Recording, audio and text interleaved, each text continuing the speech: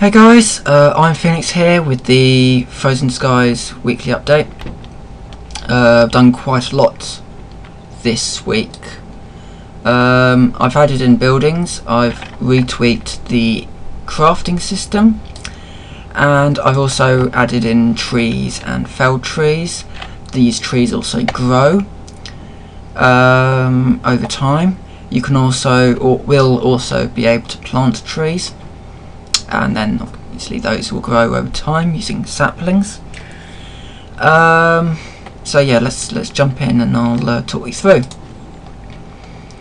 Um, so this is my world as it is so far, and these are my trees. Now in about 30 seconds, these things here, which look really weird at the moment, these are my first trees, will grow into these ones here.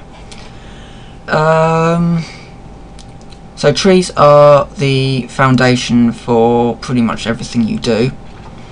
Um, they provide the player with wood and thus wooden items. So you, as you can see, these have popped up into full-grown trees. Um, eventually it will be a, a, rather slower thing, so saplings will grow into young trees and then they'll get older and older. And they'll be sort of a stage where they're as old as they can get, and that's at that point um, that's going to be the best yield for wood. Um,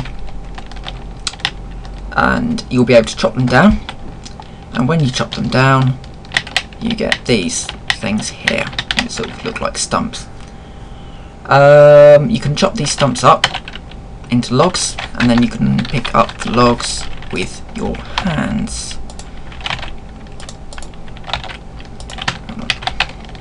A few niggly little issues I just need to rectify. Um, wooden items um, can be used to make crude workbenches, um, houses, tents, all kinds of things, uh, tools. They really are sort of the the the your main building material. Um, so yeah, that's that. Um, the other thing that I've I've retweaked the crafting system quite a lot. So if you're just out in the wilderness and you haven't got anything in your inventory that you can craft, it will just look like that. Um, the idea of the crafting menu is that if you've got the right tool equipped and you're standing near the right item, if it needs some specific kind of like workbench or an anvil or a forge, smelter, anything like that, it will appear in the crafting menu. Um, so all you do is you open the crafting menu and it's there. But you need to have the right tool equipped and and by equipped I mean it needs to be the active object like hand is now or like hammer is now.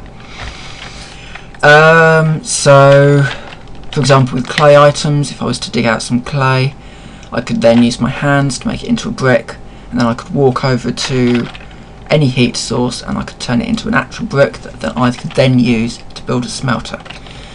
Um, with iron ore I can um, mine it out, take it over to a smelter, smelter, mine it in, um, make it into an iron bar, and then use those iron bars to make um, metal casings or iron poles, sort of building equipment. So the, the, the crafting system has evolved quite a lot now, and I'm sort of in the process of adding those things in, getting the crafting system up to spec. Um, still needs a little bit of work to get it all working smoothly, but um, it's getting there. And the last thing I've added are buildings. Um, so much like the crafting system, if you've got it, got the um, the right tool equipped, and if you've got the right items, you can build it. So if you've got the hammer equipped, you can open your build menu, and then you can build things like tent, for example. Um, at the moment, these items on on here they might have been hooked up but they might not necessarily um, have models um, or the stuff set up for it yet. So at the moment I can spawn 10 without any materials. Uh, you can see that there's gaps though, there's, they're the ones that I've um, set up. So let's give myself um, a couple of, let's give myself 100 wooden posts, 100 wooden planks, 100 iron po poles and 100 lamp heads. Right, so um, I can now spawn lampposts. They will give light, so quite useful in the night cycle. And I can also spawn, I know it doesn't really look anything like a gate at the moment, but it's just a placeholder model for a gate. And also fences as well. This one's a little bit low for some reason. Uh, yeah. And these are physical things that you can't get through, but you can jump over. Um, so there's nothing more to say on that front. Um, all buildings will be upgradable. Some buildings are sort of expandable. Um, you'll be able to build sort of your own houses. It's a planned feature. Not quite sure when that's exactly going in. You may not see that for quite some time, but I do. I would quite like people to be able to build their own houses um, so the way this would work, you'd drop something like this. I've got it sort of half in at the moment. Um, house builder. So you'll have this hollow and you can position it somewhere and then you fill out your width, length and height and it will build it um, out of these blocks. And then the idea of it is that you'll be able to then um, walk up to it and sort of build, say, you might want to build a wall there, a door there, and so on and so forth. And these would become structures which you can uh, live in. Um, so when you're inside them, you're not going to be dro dropping heat.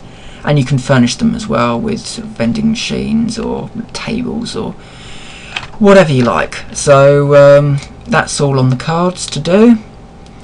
Um, so uh, see you next week uh, for more things, whatever I end up doing. Uh, as ever, any questions that you've got, um, drop them down. If you want to know how I've done anything, again, please ask.